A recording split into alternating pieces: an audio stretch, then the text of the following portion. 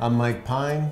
This is Kelly Cheever, one of our senior managers at Pine & Company CPAs. At Pine & Company, one of the services we offer our clients is outsourced CFO or controllership work. Kelly manages that department, and more, more often than not, she is our outsourced CFO or controller that we offer to our clients. Kelly, what do you like about what you do with our clients?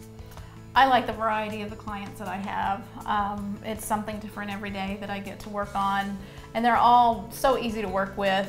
Uh, I haven't had a bad client yet. I enjoy the fact that they can have my cell phone and call me anytime they have a question, and email. You know, this day and age, you're always um, attainable, and it's it's it's great to be able to have that connection and and be there for them, and and also just to see them be successful. So with our outsourced CFO work, our clients actually, at a very low price point, can get the full services of having an entire accounting department with a CFO and, a, and an experienced CFO working for them.